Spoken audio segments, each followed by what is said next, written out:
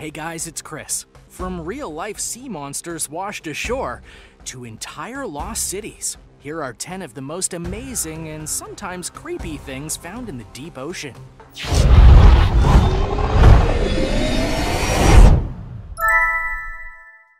Number 10. Oarfish.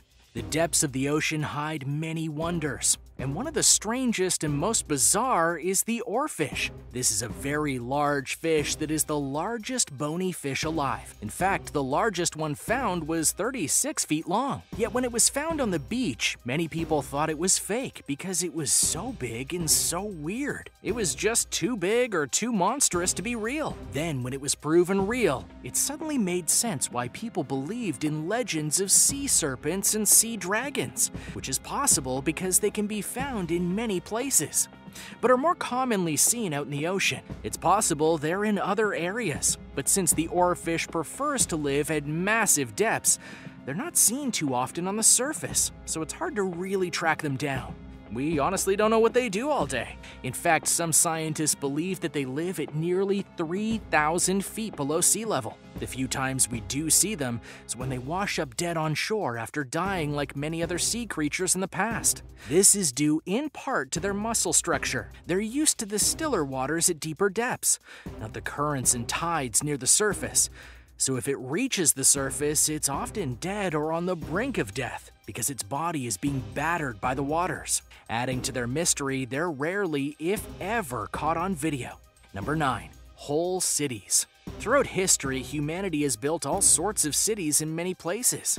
However, nature has had a hand in determining whether they survived or not, including quite literally sinking them into the oceans or seas that they've bordered. If you were to dive into certain places around the world, you would find whole cities, complete with buildings and other amenities, fully engulfed by water. Such places you can find include the ancient city of Helike, the former Roman city of Neapolis, the Indian city of Dwarka, and the real life Port Royal, and more. What makes these finds terrifying is the simple fact that these cities were sunk or swept away without much effort at all by nature. Tsunamis have been dubbed the culprits for some of these cities, while others were due to erosion or mysterious means. Just as curious, there have been certain underwater cities and monuments that resemble cities that no one has definitive answers to how they got there such as the underwater city that is off the coast of Cuba, or the Yonaguni Monument off the coast of Japan. These cities were lost at one point in time and not recorded. That could mean that other cities are beneath the waves and we just have yet to find them. And now for number 8. But first, be sure to subscribe to World List and give this video a nice thumbs up if you want to learn more about sea creatures. Number 8. The Real Kraken. One of the most popular legends of the ocean is that of the Kraken a deep sea creature that would rise up to swallow ships whole and take sailors to a watery grave. Numerous reports claimed that this creature was real, and because we couldn't go into the depths of the ocean, many believed it to be a real thing. But the real culprits for what the Kraken is and isn't is the colossal and giant squids. These amazing but also somewhat terrifying creatures live in various parts of the ocean, including near Antarctica and in the major oceans where sailors are known to have passed through. They even live in the depths of the Mariana Trench, showing their survivability in nearly all waters. The reason we believe that these two species are the legendary kraken is because of their long tentacles and massive size. The largest known colossal squid to have been studied was only 15 feet long, but that's because they're rarely seen on the surface and thus we can't get a true measure on them. For the giant squid, it's kind of a similar case, but they're estimated to be about 43 feet in length at max. As of now, squids as a whole are more well known, but they're still terrifying given their size and the ability to ensnare prey with their massive tentacles. While rare, there have been attacks on humans by squids, which makes diving into the waters of the ocean to go and research them rather difficult and dangerous. This usually leads to the use of underwater drones to try and get them on camera, which has only been done a few times. Number 7. Sarcastic Fringehead One of the many evolutions that certain fish and other creatures have is the ability to seem harmless from afar, but then, when a predator nears, they flare up their body in some way and become very aggressive. which in the waters of the world speaks to the nature of the sarcastic fringehead. Not sure why they're considered sarcastic? This is a saltwater fish, and it may not seem like much at first. And when coiled up, it resembles a regular fish, sometimes even being brightly colored. But when threatened, it opens up its massive, distended mouth and becomes something out of a horror film.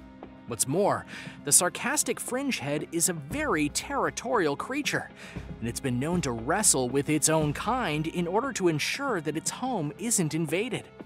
They actually battle with their mouths to try and overpower one another, as well as literally sizing one another up, because the bigger of the two in terms of their distended mouths will be able to assert dominance over the other. Just as odd as their mouths are their swimming motions. While most fish do things like a constant swimming motion via flippers or fins, the sarcastic fringehead doesn't do that at all. Rather, they do short bursts of movements, not unlike a dart being thrown at a board.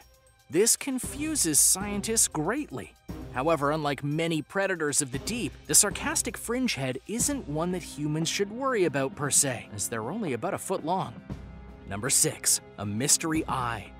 Imagine this you're going along a beach and you see something bobbing up and down in the water near you. You go and retrieve whatever it is, only to find yourself looking at a giant detached eyeball. Well, what do you do?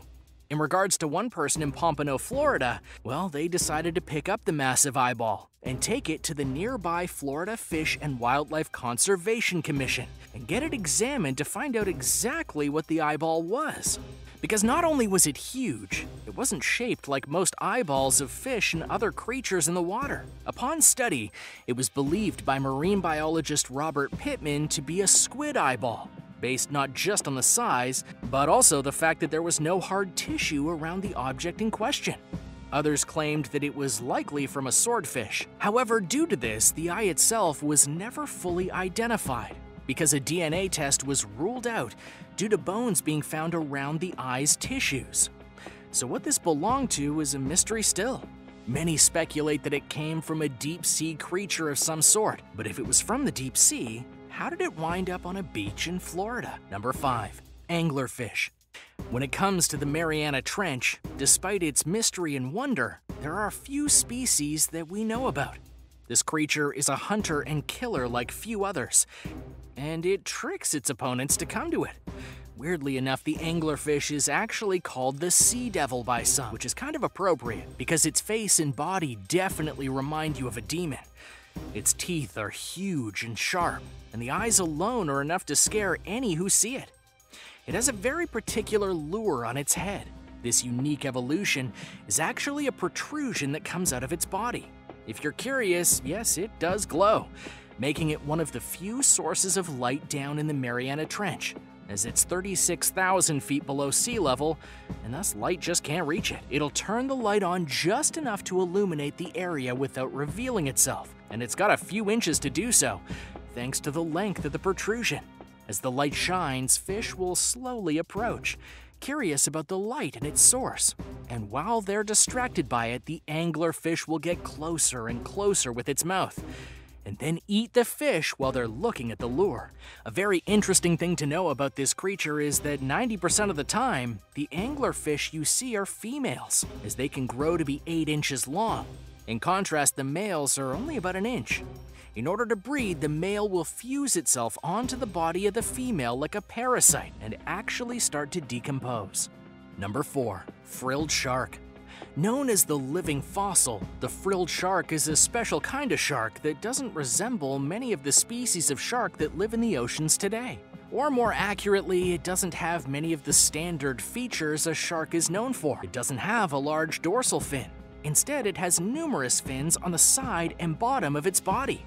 Its skin also looks very rugged and worn, which many have likened to certain types of eels. In fact, the frilled shark has been compared to an eel a lot because of its length and movement capabilities, which is appropriate given it's only about six and a half feet long at max. Given its features, many have labeled the frilled shark as not just a living fossil, but as a primitive being given that it doesn't have certain things that modern sharks or even eels have to survive in these waters.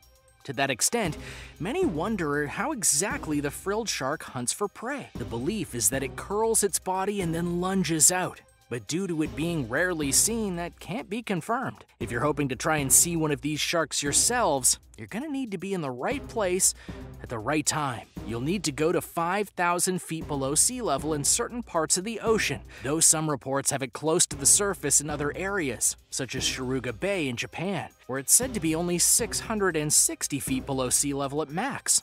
Despite this, the frilled shark is very rarely observed in the world so there's still very much about the creature that's unknown.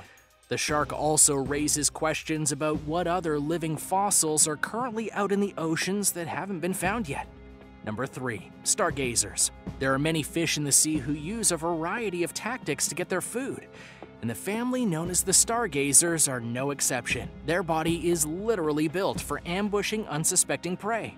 For example, their eyes are on the top of their heads, instead of on the sides like most fish.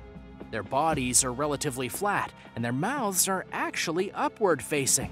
What they like to do is go into a reef and bury themselves in the sand. Then they'll just wait for some small fish to come by unsuspectingly, and then they'll strike. Not weird enough for you? Well, there are 51 species of stargazer in the world, and some of them actually have a lure within their mouths that look kind of like a worm so they'll use it to attract prey and bring them closer, thus allowing them an even easier meal.